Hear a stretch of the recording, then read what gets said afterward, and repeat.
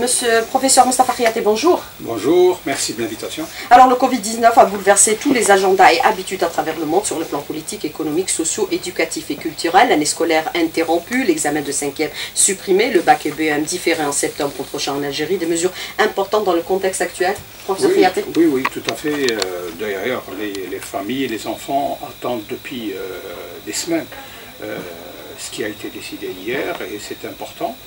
Euh, vous savez que beaucoup de, gens, surtout les, enfants et leurs parents, attendent avec euh, une certaine euh, émotion la, fin de l'année. Et là, tout le monde était un peu accroché à ce qui va être décidé. Euh, je pense que la plupart des, classes d'examen s'attendaient à un recul des, examens. Euh, je pense que ce n'est pas la première fois. On l'a vu avec, euh, en 2003 avec le tremblement de terre de Beaumendes, par exemple, où les examens ont été reculés à, à septembre. la nouveauté, c'est peut-être la plupart des classes ne vont pas maintenant être soumises euh, aux examens et qu'on va prendre en considération les deux euh, premiers trimestres, les moyens des deux premiers trimestres. Mais le problème, je pense qu'il est ailleurs. Euh, ce problème, c'est que les enfants, pour la première fois, de toutes les façons, de mémoire, je n'ai pas retrouvé une notion de ce type-là, 7 mois. Donc, 7 mois, ils n'ont pas eu cours jusqu'à pratiquement début octobre. Donc, 7 mois représente pratiquement une année euh, scolaire, une année pédagogique. Euh, le problème, c'est la reprise. Comment on va prendre en charge ces enfants-là? Euh, Sur le plan, bien sûr, de la didactique, de la formation, de la pédagogie, c'est là le problème. Mais justement, par rapport à cette question que vous soulevez, différent en septembre prochain, mais comment faire pour éviter que les élèves ne rompent avec l'enseignement? Sept mois de rupture, c'est énorme et c'est important. Comment faire en sorte, est-ce qu'on puisse les réadapter avec l'enseignement? Alors, tout le problème est là. Euh, je pense, bon, pour l'instant, on ne nous a pas dit, donc ça n'a pas été euh, diffusé, quelle est la stratégie qui va être euh, donc élaborée pour cela. Mais euh, ce qu'on sait, si on, reprend un peu euh, l'évolution du système éducatif depuis plusieurs années, on s'aperçoit qu'il y a des classes charnières. Les classes charnières, c'est la première année moyenne et la première année secondaire. C'est là où il y a le plus de redoublements. Et les redoublements sont très importants au niveau de, de l'éducation. Alors si vous avez par exemple 30% de redoublement au niveau de la première année moyenne, cette fois-ci, avec le, temps euh, D'abord, il n'y a pas de sanction d'examen à la fin de la cinquième année, et c'est surtout euh, les enfants vont venir après un an pratiquement, donc une, année scolaire de, repos, vont euh, venir en première année moyenne. Le taux de redoublement, s'il n'y a pas des mesures efficaces, sera beaucoup plus important que les années précédentes, c'est clair. Ceci est valable également pour la première année secondaire et pour les autres classes où il y a un cumul un cumul du non-savoir, de la non-assimilation. Mais est-ce que sur le plan pédagogique, il faut déployer tous les moyens euh, pour euh, faire en sorte, est-ce que le niveau scolaire ne soit pas affecté? C'est clair, donc il faut y penser tout de suite, il faut peut-être euh, réfléchir à euh, une phase euh, au début de la, de la scolarité de rappel et de remise à niveau, parce qu'il s'agit d'une véritable euh, stratégie de remise à niveau pour ces enfants-là, surtout du niveau primaire et moyen, pour les, je ne parle pas des matières de mémorisation parce qu'on a tendance à leur donner à apprendre, c'est pas ça le problème. Le problème, il s'agit surtout pour les matières scientifiques. Là, il faut absolument faire des rappels et euh, se, donner un, une, une, phase de latence, par exemple d'un mois ou un mois et demi, où pratiquement on va reprendre pratiquement toute l'année. C'est-à-dire les deux, ou trois trimestres euh, de, l'année précédente, on fait un rappel consistant. Autrement, euh, le niveau va encore se dégrader et euh, les résultats vont être catastrophiques en juin 2021. Il faut prendre en considération un peu, euh, par exemple, la contribution de certains pédagogues qui alertaient déjà sur le niveau scolaire qu'ils considéraient comme étant extrêmement faible, en tenant compte bien sûr du taux de déperdition qui reste un des plus élevés. Oui, oui absolument. Le taux de déperdition qui est connu est très important en Algérie. Nous sommes entre 4 et 500 000 pratiquement par an pour les trois niveaux. Euh, et encore, je ne parle pas du baccalauréat. Euh, ce taux est important lorsqu'on voit par exemple au niveau de l'école primaire il est à peu près de 50 000 par an au niveau du moyen, il est autour de 250 à 300 000 enfants. Et au niveau donc, du, lycée, c'est pratiquement les mêmes chiffres, c'est-à-dire 200 000 à peu près. Donc c'est un taux d'évaluation. Mais le taux de redoublement est aussi important, pour ne pas dire plus important. Et ça, c'est lié justement à ces difficultés-là. Alors, euh, nous sommes dans un contexte de refondation de l'Algérie nouvelle, de création de nouveaux mécanismes de gouvernance à tous les niveaux. Est-ce que, par exemple, la, réforme de l'école doit être considérée comme étant une priorité, l'occasion de penser à tous ces problèmes? Aujourd'hui, nous voyons, avec le contexte du Covid-19, l'examen de cinquième année supprimé. Est-ce que c'est l'occasion de le supprimer totalement, puisque ça avait été déjà annoncé par le passé sans pour autant le mettre en œuvre? C'est clair, c'est clair. Donc, euh, moi, je pense que euh, l'éducation est, euh, est, un fondement de la République. Et donc, il faut absolument revoir ce problème-là. La commission Mezzaro de,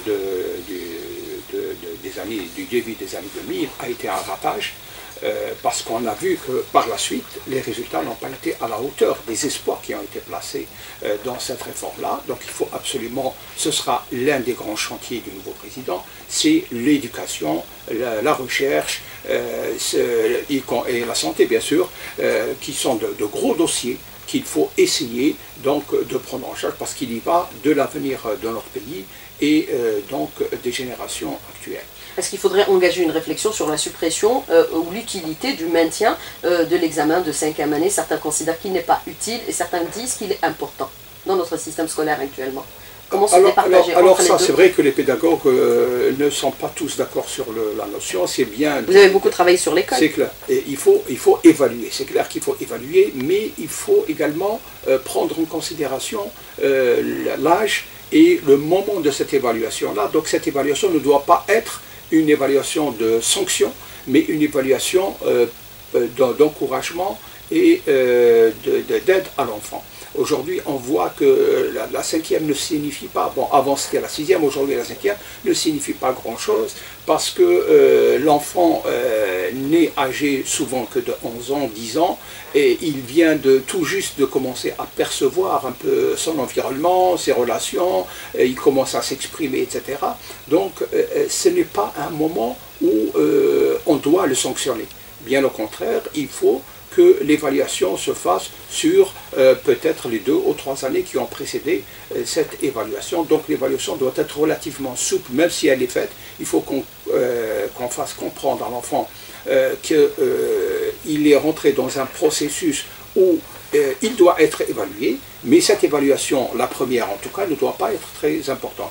Quoi qu'il en soit, il faut absolument qu'il y ait une réflexion autour du sujet, et cette réflexion devrait être globale, intéresser tout le système éducatif et faire des propositions sur les différentes étapes les étapes fondamentales que sont bien sûr la cinquième, le BM et ensuite le baccalauréat, parce que je peux reposer la même question, euh, est-ce qu'il faut maintenir le baccalauréat tel qu'il est euh, aujourd'hui? Parce que également c'est une ineptie de copier ce qui se fait en France et de dire le baccalauréat euh, c'est la fin du monde, c'est exact. Alors qu'on peut penser que après trois ans de formation secondaire, une bonne formation, on peut se contenter par exemple de prendre en considération euh, l'évaluation des trois années plutôt que de, prendre en considération l'évaluation de trois journées d'examen. Mais est-ce que toutes ces réflexions doivent être engagées aujourd'hui pour, bien sûr, essayer d'aller vers euh, un enseignement et une école euh, de qualité? Vous avez parlé un peu de réforme de système d'examen, réformer les systèmes d'examination, BEM et BAC, réformer ne réside pas pour certains pédagogues dans la réduction de la durée des examens, c'est-à-dire réduire la durée de 5 jours à 3 jours, mais dans les matières d'examen. Absolument.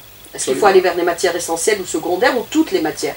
Alors, euh, la question est posée beaucoup de pédagogues et je pense que c'est important de dire que ce qui est important, ce n'est pas la mémorisation. Euh, donc, on peut penser que les matières de mémorisation, euh, on peut prendre les moyens sur, par exemple, l'année ou sur les deux derniers trimestres. Mais ce qui est important, c'est la compréhension c'est euh, l'esprit qui a été forgé durant cette formation de trois ans au niveau du lycée. Donc il faut, euh, ce qu'il faut évaluer, ce sont essentiellement les matières de réflexion, c'est-à-dire essentiellement les, euh, maths physiques pour le, le sciences et biologie pour les sciences expérimentales, la philosophie et l'adaptabilité pour les matières littéraires, pour le, ce qui est du littéraire. Il faut aller vers la réforme des contenus et non les démarches Absolument. il faut revenir peut-être au concept d'une tête bien, bien faite plutôt qu'une tête bien pleine. Alors euh, aujourd'hui, cette réflexion est lancée d'aller vers peut-être une réforme profonde de notre système éducatif euh, qui bénéficie d'un privilège ou euh, d'une attention particulière de la part des pouvoirs publics. Le président de la République l'a réitéré encore une fois. L'école, la santé et l'habitat sont des secteurs extrêmement névralgiques et importants. Comment engager aujourd'hui cette réflexion? Est-ce que par exemple ces six mois permettraient de mettre en place des mécanismes d'une refonte de notre système éducatif, bien sûr en associant tous les partenaires et toutes les personnes pouvant éventuellement apporter une contribution Je pense que c'est possible. On l'a fait pour la Constitution, donc il faut donner... On va le faire encore pour la Constitution. Absolument. Donc il faut donner peut-être le, dossier ou la, mission à, un groupe et euh, décider ou euh, fixer une échéance.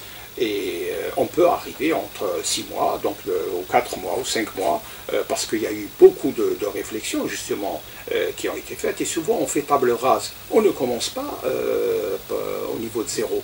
On commence au niveau euh, de 2020 et 2020 il y a des, un, passif, donc il y a euh, un antériori qu'il faut prendre en considération. Donc si on prend euh, un peu toutes les réflexions qui ont été faites au cours des 20 dernières ou 30 dernières années, on peut avancer assez rapidement. Il faut commencer par la formation des formateurs en priorité. Ceux qui doivent former les générations futures. c'est indispensable. Moi, je, je rappelle toujours le, le, livre mémoire de, Bill Clinton, euh, ma vie, euh, dans lequel il a consacré 70 pages euh, à l'éducation en expliquant que lorsqu'il était gouverneur, c'était la priorité des priorités et qu'il a commencé essentiellement, alors qu'il était dans un État qui était considéré comme le dernier des États-Unis en matière de, niveau scolaire, et grâce justement à la formation et à le, recyclage des enseignants, des encadrants, il a pu, tout, dans, après trois ans, arriver à un certain niveau. Donc euh, euh, c'est clair, euh, on ne peut pas atteindre des objectifs intéressants si on ne réforme pas l'encadrement. Alors vous avez euh, parlé un peu, euh, bien sûr, de la réflexion qui est initiée actuellement par les pouvoirs publics pour enrichir le document ou l'avant-projet de révision de la Constitution qui a été soumis à tous les partenaires, à tous les niveaux, partis politiques, euh, société civile et également presse et médias. Vous faites partie de la société civile. Vous parlez un peu aujourd'hui de la nécessité d'aller vers une refondation de, de système de gouvernance. Vous avez parlé de l'école. L'école doit figurer parmi les priorités. Une, une école publique, républicaine et gratuite ouverte à tous. Mais absolument. Ah, ouverte aussi à toutes les cultures. Ah, bien sûr, l'école c'est quelque chose d'important, c'est un creuset. C'est un creuset euh, important, essentiel, fondamental dans la vie de l'individu et donc d'une génération et du, pays euh, par voie de conséquence. Euh, l'école est importante. Je pense qu'on ne lui a pas donné, on lui a donné les moyens, mais on ne lui a pas donné peut-être le, le, cadre dans lequel elle doit s'épanouir, elle doit se développer. Euh, il faut qu'elle ait ses objectifs, il faut également qu'elle dispose d'une véritable stratégie, chose euh, qu'on n'a pas réussi à faire durant euh, malheureusement les 40 ou 50 dernières années. Préserver le principe d'une école républicaine ouverte à toutes absolument. les cultures. Il est clair que l'école doit être d'abord républicaine, doit être gratuite, non discriminatoire, qu'elle accepte tout le monde, qu'elle accepte également. L'école, si on n'est pas ouvert à toutes les cultures au niveau de l'école, quand est-ce qu'on le sera donc euh, c'est ça le problème. L'école doit être justement euh, l'espace euh, où on peut côtoyer tout ce qui est et on doit apprendre justement à vivre avec, c'est vivre avec autrui.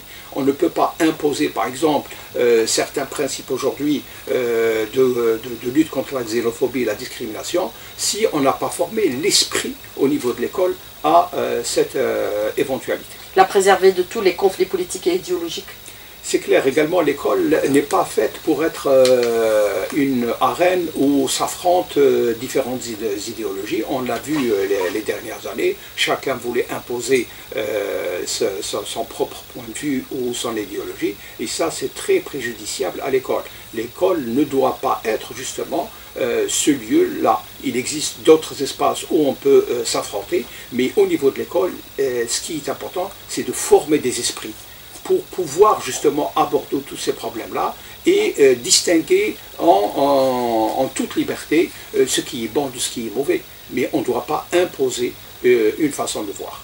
Alors, euh, professeur Mustafa Khiyati, je voudrais revenir avec vous dans cette deuxième partie de l'invité de la rédaction sur, bien sûr, la réforme de la Constitution. Le projet de réforme de la Constitution est soumis à débat, enrichissement. La démocratie se construit sur des fondements de transparence et d'ouverture. C'est le constat qu'on peut aujourd'hui relever par rapport, bien sûr, à toutes les personnes qui sont euh, sollicitées pour apporter leur contribution et enrichissement de ce texte euh, fondamental pour l'Algérie nouvelle, professeur Khiyati, puisque tout le monde peut, peut apporter sa contribution à tous les niveaux, même les citoyens. À partir du moment où c'est la première loi, euh, fondamentale, euh, c'est clair que euh, plus elle est discutée, plus largement elle est discutée, mieux cela vaut.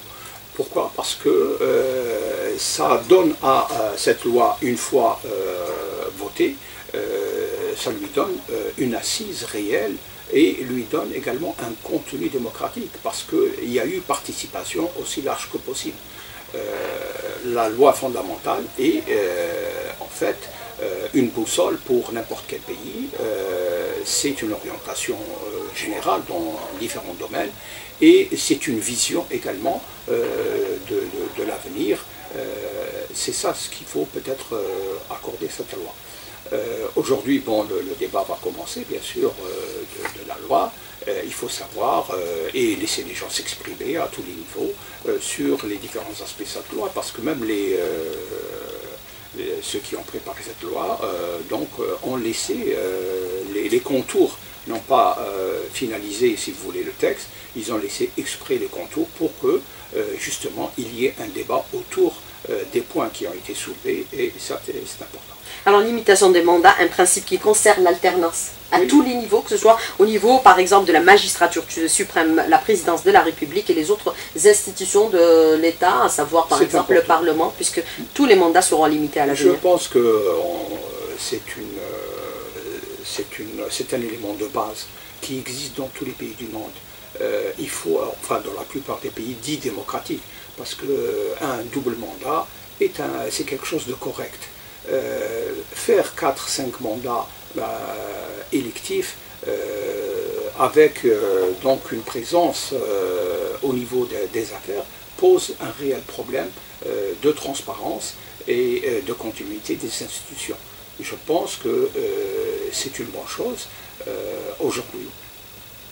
Alors, euh, consolidation euh, aujourd'hui euh, de l'institution du chef du gouvernement, puisqu'on passe de statut de Premier ministre à un statut de chef du gouvernement qui sera bien sûr élu par la majorité parlementaire ou désigné par la majorité parlementaire. Disons c'est un retour logique aux, choses. Qui aura plus de prérogatives qu'un Premier ministre. C'est clair, parce qu'un Premier ministre, dans un pays comme l'Algérie, c'est un peu problématique. Euh, de plus, je pense qu'ici, il va y avoir une répartition, une distinction entre les différents pouvoirs. Euh, c'est prévu par la Constitution, euh, parce qu'il y a souvent un chevauchement, mais ce n'est pas dans ce sens-là. On a donné trop, de, pouvoir à, l'exécutif. Il faut un peu répartir ces pouvoirs-là si on veut que la Constitution soit réellement une Constitution démocratique. Donc il faut que chaque pont du pouvoir dans un pays et ses propres prérogatives, donc le, judiciaire, l'exécutif et le Parlement. Donc euh, il ne faut pas qu'il y ait euh, donc, une force beaucoup plus importante que les autres et qu'elle les écrase. autrement, il va y avoir des dysfonctionnements et un déséquilibre au niveau des pays et au niveau des États. Euh, est-ce qu'on est euh, pratiquement dans un principe où euh, personne n'a des situations de monopole pour décider tout seul? Plus, plus il y a un contrôle, plus il y a une évaluation, mieux ça vaut pour le pays. Parce qu'on est en train de parler d'un niveau supérieur, c'est-à-dire du niveau de la tête des pays, des États. Donc à ce niveau-là, l'évaluation et le contrôle doivent être réellement exercé pour éviter justement les déviations. Puisqu'on parle aussi de suppression du droit de légiférer par ordonnance durant les vacances parlementaires. Fini, banni cette pratique, c'est-à-dire le président de la République ne décide pas, il soumet à débat et à enrichissement au niveau des parlements. C'est important, c'est important parce que lorsqu'on voit que euh, des grands responsables qui ont été, donc qui ont représenté l'État algérien durant des années se retrouvent derrière les barreaux, c'est qu'il y, a, il y avait certainement des dysfonctionnements très importants. Il faut absolument qu'on mette un, donc un arrêt à ces, ces, déviances en mettant en place justement un contrôle de la part des différents pouvoirs pour qu'on n'arrive pas à des situations pareilles. Alors, euh, vous avez aussi, est-ce qu'on peut considérer aujourd'hui, par exemple, on est dans une logique où on veut faire aboutir les textes fondamentaux de telle sorte, les textes, c'est-à-dire les lois organiques, avec des textes d'application, puisqu'il est dit qu'il est fait obligation au chef du gouvernement de faire accompagner les projets euh, de loi par des textes complémentaires d'application, euh, faute de quoi le projet de loi ne seront pas inscrits à l'ordre du jour du Parlement. Puisqu'on a vu par le passé, vous connaissez très bien la loi, par exemple, sur la, loi sanitaire de celle euh, des années 80, n'a jamais été suivie euh, de textes d'application. Dix ans plus tard, les textes d'application ne sont pas encore parus, et ça c'est... moi je pense que... C'est un problème de dysfonctionnement? C'est l'un des articles les plus importants de, de, la, nouvelle, de la nouvelle loi fondamentale, c'est justement euh, qu'il y ait une loi immédiatement opérationnelle. Euh, je donne un exemple, la loi sanitaire de 2018, euh, elle n'est pas ancienne, ça fait deux ans qu'elle a été promulguée, elle n'est pas encore appliquée, faute justement de texte d'application, et il est possible qu'elle ne sera pas appliquée pendant des années s'il n'y a pas de texte d'application immédiat. Alors à quoi ça sert de faire le meilleur texte du monde lorsque vous ne pouvez pas l'appliquer? Alors, il n'y a pas que ça. Moi, je voudrais que dans la Constitution, il y ait également d'autres mécanismes. Parce qu'il y a des lois aujourd'hui avec leurs textes d'application. Par exemple, vous avez parlé tout à l'heure de la, violence contre les femmes. la loi existe, mais pourquoi elle n'est pas appliquée? La loi sur la mendicité existe, pourquoi elle n'est pas appliquée? Donc, il y a des mécanismes. Il faut absolument que la Constitution le euh, montre. Il faut qu'il y ait justement un mécanisme qui euh, fait que lorsque la loi est euh, approuvée, qu'elle est promulguée, à ce moment-là, chacun qui euh, porteur d'un brin d'autorité se sent concerné pour l'appliquer. Il ne faut pas dire, moi j'ai pas reçu d'instruction, j'applique pas. Non, la, loi existe, vous devez l'appliquer, de part parce que vous êtes un commis de l'État. Donc euh, euh, il faut peut-être que cet esprit-là ressorte dans cette loi. Il y a d'autres aspects qui, à, ma, à sens, parce que je n'ai pas lu toute la loi, mais je voudrais que la loi également insiste sur le problème de la recherche parce que c'est fondamental. La recherche, c'est euh, quelque chose de très important. C'est la locomotive qui tire tout le pays, qui tire tout le développement. Si on ne lui consacre pas euh, un, passage extrêmement important dans la Constitution, on ne va pas lui donner d'importance. Lorsqu'on voit qu'il y a des pays où, il y a un vice-président chargé de la recherche, c'est dire l'importance. D'ailleurs, on l'a vu, euh, par exemple, avec l'histoire du Covid, on a vu qu'on euh, aurait pu, le, Sénégal fabrique lui-même les tests de, dépistage. Le Sénégal, grâce justement à euh, ces laboratoires il n'est pas normal que l'Algérie, avec tous ses moyens, ne puisse pas se hisser à un niveau. Donc il faut absolument que la recherche ne soit pas marginalisée, mais doit être considérée comme une priorité. Elle l'est dans la loi euh, nationale, la, loi sur la recherche scientifique, donc les différentes lois. Elle est considérée, et c'est l'une des rares lois où, le mot euh, priorité est utilisé, priorité nationale, mais dans la réalité, il n'en est rien. Donc il faut absolument, euh, le problème de l'éducation également, il faut qu'il paraisse, parce que ça concerne 8 millions d'enfants. et euh, c'est une masse importante. Et c'est l'avenir de ce pays-là. Le problème de, la santé également, il ne faut pas qu'il paraisse comme avant, c'est-à-dire le droit à la santé, c'est plus que ça. Aujourd'hui, on est confronté à des défis. Jamais le monde n'a été euh, paralysé par une infection, par un virus qu'on ne voit même pas et qui fait tant de dégâts. Donc, et on est appelé dans l'avenir à justement à rencontrer d'autres situations sanitaires qui, doivent qui sont certainement beaucoup plus complexes. Et donc, il faut absolument euh, euh, se prémunir et que cette constitution puisse euh, faire des ouvertures d'attente d'attente ou de, de, de, se préparer, de préparation au risque. Et ça, c'est très important. Donc, il y a certains points qu'il faut absolument qu'ils paraissent dans la nouvelle constitution parce que c'est trop important. Le débat ne doit pas être focalisé uniquement sur la répartition des différentes sphères du pouvoir, sur euh, des choses classiques qu'on connaît et qui sont importantes, mais il y a également des choses d'avenir et on ne peut pas refaire une constitution tous les deux ans. Euh, prendre en considération davantage les aspects liés à l'environnement aujourd'hui, c'est Tout à fait. Je n'ai pas parlé bien sûr de l'environnement qui est extrêmement important. Bon, je salue que le, le CNES, par exemple, dans la, dans la Il aura une nouvelle prérogative. Aura justement la prérogative de s'occuper également d'environnement, mais l'environnement également est indispensable parce que le Covid, de toute façon, est lié à l'environnement. On le voit avec euh, les développements qu'il y a eu, etc. Donc l'environnement, on ne lui, a pas, euh, on lui a pas donné beaucoup d'importance. L'énergie également. Euh, donc pas classique, mais d'énergie euh, donc euh, nouvelle, naturelle, qui doit être également mise à contribution. Donc ce sont tous des éléments extrêmement importants qui marquent notre présent, mais surtout vont être déterminants pour notre avenir. Donc il faut absolument que la Constitution les cite et leur donne leur niveau, leur position pour que qu'ils soient, qu'ils constituent pour nous, si vous voulez, des points de repère d'avenir. La santé doit être figurée parmi les priorités également dans ces amendements qui doivent être apportés en cas, en préservant le caractère un peu euh, gratuit de la santé. Il faut aller vers son évolution aujourd'hui. Quelle est votre proposition non, je pense, euh, euh, en fait, c'est très difficile de répondre comme ça de façon abrupte et rapide à une question aussi importante. C'est clair que l'Algérie a toujours maintenu, maintenu que la santé a une vocation sociale, c'est-à-dire qu'il faut qu'elle soit gratuite. Mais ceci n'empêche pas que la santé a un coût et ce coût doit être évalué, chose qui n'existe pas. Où est la contractualisation annoncée en l'an 2000 On l'a jamais vu. Euh, est-ce que les hôpitaux sont gérés comme des entreprises? On n'a jamais vu, ce n'est pas le cas. Les hôpitaux continuent à, euh, fonctionner avec une comptabilité euh, ancienne, le directeur est un dépensier, les budgets, c'est des budgets forfaitaires. Donc tous ces problèmes-là sont en quiproquo avec une situation qui ne fait qu'avancer, qu'évoluer. Donc on a l'impression que euh, le système de la, de la, santé, le président l'a bien euh, analysé lorsqu'il a visité euh, l'hôpital de Belleville donc il y a un problème réel et on s'attend justement à ce qu'il y ait une réforme comme il a annoncé sur ce plan-là, comme il a annoncé d'ailleurs la création d'une agence de sécurité sanitaire qui est extrêmement importante dans le contexte actuel et surtout dans le contexte à venir parce que comme je l'ai dit, l'Algérie va être confrontée à d'autres défis sanitaires et il faut qu'elle soit mieux préparée.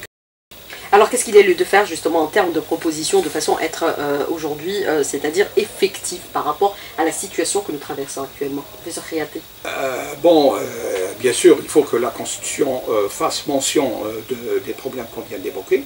Il faut également mettre en place des institutions qui puissent répondre à, tous ces problèmes-là. Équité, égalité euh, entre toutes les régions et toutes les wilayas du pays. Bien sûr, il faut qu'il y ait, parce que euh, nous, une, sommes dans, une nous, santé accessible à tous.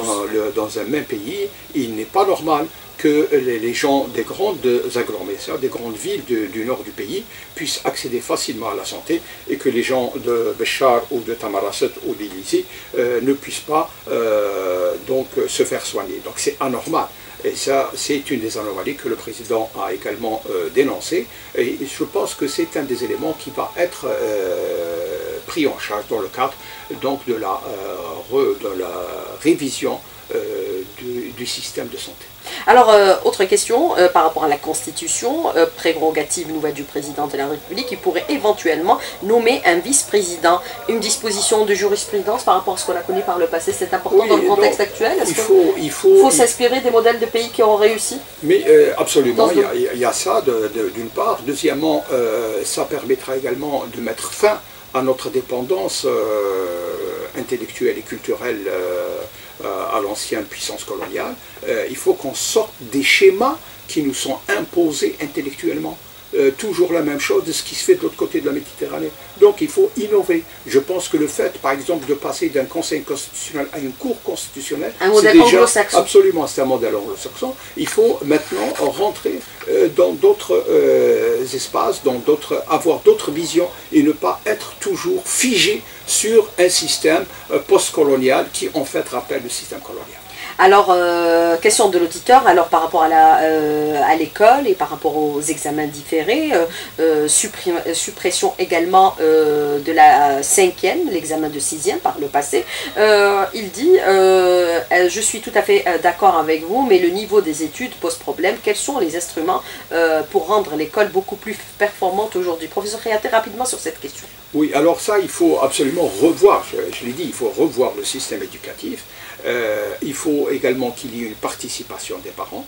Euh, cette participation ne doit pas être pécuniaire comme on le fait aujourd'hui, c'est-à-dire les enfants des riches euh, vont jusqu'à la terminale et à l'université et les enfants des pauvres ne peuvent pas se bénéficier d'un appui pédagogique en dehors de l'école et à ce moment-là n'ont pas accès. Il faut que l'école suffise à la formation, et qu'on arrête le recours à ces garages où les enfants reçoivent des cours, des, cours payants.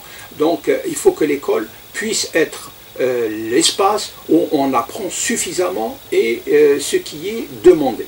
Alors la violence à l'égard des femmes constitutionnalisée, c'est l'aboutissement d'un combat pour protéger les femmes oh, ah bah oui, c'est important.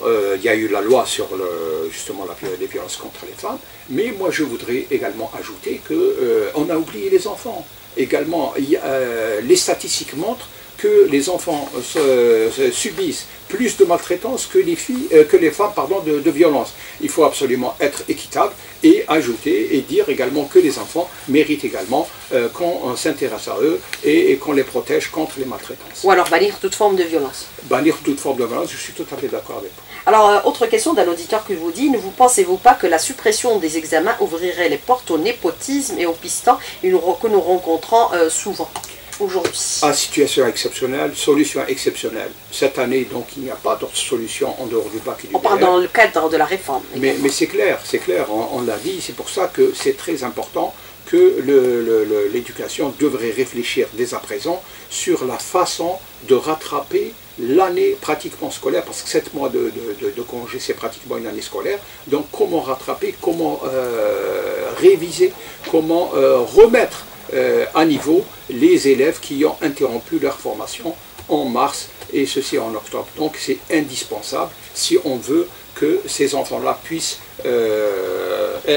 supporter et surtout être de bons élèves dans les classes euh, où ils seront dans euh, l'année prochaine. Est-ce qu'il faudrait aller vers la suppression du français au profit de l'anglais dans notre système éducatif? Professeur Khayati euh, c'est une question importante à poser, bien sûr. Moi, je pense que l'introduction de l'anglais doit être indispensable. Et je peux vous dire sans équivoque, c'est qu'aujourd'hui, lorsqu'on voit, on a fait une enquête chez les enfants de 10-15 ans, et on a été surpris de voir le nombre d'enfants qui maîtrisent déjà l'anglais parce que justement, ils jouent euh, avec des, programmes euh, totalement en anglais et utilisent souvent la télévision ou les moyens de communication euh, pour apprendre l'anglais. ceci est vrai également pour les jeunes filles qui suivent les Mousselselet, les différents qui ont appris le coréen. J'ai vu une, fille qui, a appris le coréen ou le, le turc, donc ça c'est important. L'ouverture aux langues étrangères est extrêmement importante, mais il ne faut plus qu'il y ait de monopole imposer le français. Donc je pense qu'on peut euh, ouvrir à l'anglais, on peut également faire un système de choix. Euh, on voit que par exemple dans certaines villes du Sud, il n'y a pas d'enseignants de français. Et donc les enfants ne font pas de, langue française. S'il y a un enseignant en anglais, pourquoi ne pas leur donner la chance de faire de l'anglais, d'autant plus que peut-être l'anglais est beaucoup plus important pour les enfants du Sud. Chinois aussi qui risque d'être une, langue d'avenir. d'autres langues. Donc il faut être ouvert aux langues et permettre peut-être un choix, si on n'a pas suffisamment d'enseignants d'encadrement, permettre un, choix euh, donc, euh, et euh, d'ouvrir cela à, tous les enfants. Alors ne pensez-vous pas qu'il faut revenir aux sixième année au primaire et se focaliser uniquement sur l'apprentissage des langues arabes, anglais et français, en plus des mathématiques, et revenir aux travaux manuels et dialogue avec des... Et pour développer l'imaginaire de l'enfant? C'est vrai qu'on est dans l'apprentissage. C'est clair, c'est clair, que l'imaginaire, la créativité, euh, euh, l'innovation, il faut vraiment euh, inculquer à l'enfant cet esprit-là de, recherche déjà lorsqu'il est tout, petit, donc au niveau du primaire. Mais cela, bien sûr, appelle à une réflexion globale. Moi, je ne veux pas m'imposer aux pédagogues et aux gens de, l'éducation nationale, mais il est clair qu'il euh, faut qu'il y ait une réflexion dans ce sens-là et qu'il faut alléger les programmes. Les programmes sont très lourds. On en a discuté des euh, dizaines de fois à propos des cartades euh, de 10 et de 15 kilos. Je pense qu'il faut revenir à des normes. Pourquoi ne, pas utiliser des tablettes bloquées sur les programmes avec possibilité de communication avec les enseignants. Donc euh, tout ça doit être pris en considération parce qu'il y a justement des expériences qui ont réussi dans plusieurs pays. Euh, il faut euh, aller les voir, par exemple le Vietnam, la Thaïlande, la Malaisie, etc. Donc la Singapour également. Il faut voir ces expériences qui, sont, qui sont cachées par justement la même mise européenne qui s'est faite sur nous dans ce domaine-là. On ne peut pas réfléchir sans se référer à, l'Europe. Donc je pense qu'on peut euh, se réfléchir aujourd'hui en fonction des modèles euh, performants, des modèles gagnants. Alors, euh, est-ce qu'il faudrait euh, aussi rompre avec euh, pratiquement les pratiques du, du, passé, moraliser la vie publique, puisque vous avez dans un chapitre de lutte contre la corruption, dans la Constitution, qui dit aujourd'hui, par exemple, qu'il faut constitutionnaliser l'autorité, il faut aller vers une constitutionnalisation de l'autorité de transparence, de la prévention et de lutte contre la corruption, pour ne jamais vivre ce qu'on a vécu par le passé, où les plus grands responsables du pays se retrouvent aujourd'hui derrière les barreaux, accusés. C'est extrêmement important. De corruption. Euh, on a vu ce qui s'est passé, donc je pense qu'il euh, faut peut-être, euh, bon, je pense que c'est indiqué quelque part, le problème de l'immunité par exemple. qui doit être révisé, juste pour l'exercice et non pas pour le délit Absolument, lorsqu'il y a une affaire de, corruption. De droit commun. De plus, il faut qu'il y ait une autorité indépendante qui puisse soulever des problèmes de corruption à tous les niveaux, quel que soit le niveau ou la responsabilité de la personne. Tout citoyen doit répondre un peu de ses actes, y compris ceux qui détiennent les plus grandes fonctions de l'État, pour éviter de revivre ce qu'on a vécu par le passé. Ce qui s'est passé en Algérie les 20 dernières années ne doit plus euh, être euh, l'objet de discussion dans l'avenir. Il faut absolument mettre des mécanismes, des garde-fous, euh, pour qu'il n'y ait pas de récidive de ce qu'on a vu au cours des années précédentes. Professeur Mustafa Khayati, merci d'avoir répondu à nos questions et d'avoir été en direct avec nous ce matin dans le studio. Merci beaucoup, bonne journée, à bientôt.